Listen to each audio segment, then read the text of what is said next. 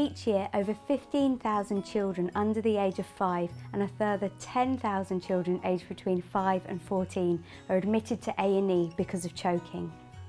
But if your child had an obstruction in their throat and they were unable to speak, cough or breathe, would you know what to do? All babies will go through that worrying stage where absolutely everything they pick up ends up in their mouth. It's totally normal. It is important during this time for parents to be vigilant about what objects they're leaving around the home and to keep an eye on their baby during this stage of their development. Not all parents know that even before weaning starts, some babies could even choke on curdled milk or mucus in their throat. If the choking is mild, then the baby or child should be able to cough and dislodge the object themselves. However, if the baby or child cannot breathe, cough, speak or cry, then you need to act quickly. It is essential that you follow these really simple steps because it could make a really big difference. We may be the experts, but anyone can do something to help in an emergency. The most important thing to remember when dealing with choking is back blows. If it is a severe case of choking, then for babies up to one year of age, you should remember to do three things. Lie the baby face down along your forearm with their head low and supported. Give up to five back blows between the shoulder blades with the heel of your hand. Check their mouth quickly after each one and remove any obvious obstructions.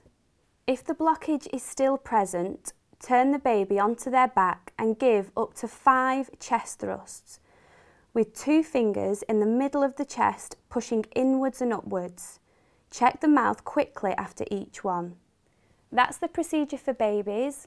If the child is over one year old, then the technique is slightly different.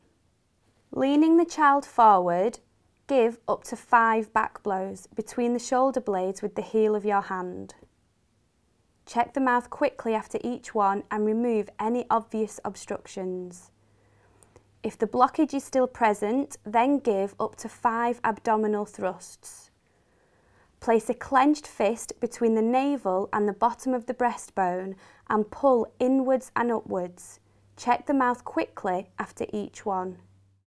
In both babies and children, if the blockage doesn't clear after three cycles of back blows and chest or abdominal thrusts, dial 999 for an ambulance.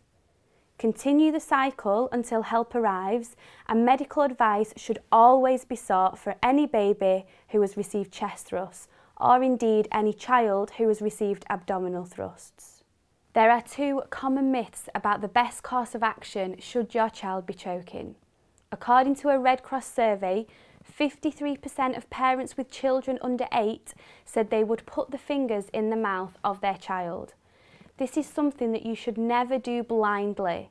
Placing fingers into a throat can cause vomiting or actually damage the child's throat. Secondly, some parents believe that hanging a child upside down and shaking them will help them if they were choking.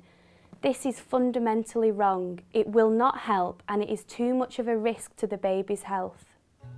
Hopefully you will never find yourself in a situation like this, but if you do find yourself in a position where you have to respond to an emergency situation, then these simple safety tips from the Tesco Baby and Toddler Club Baby Safe campaign could really help and even save a life.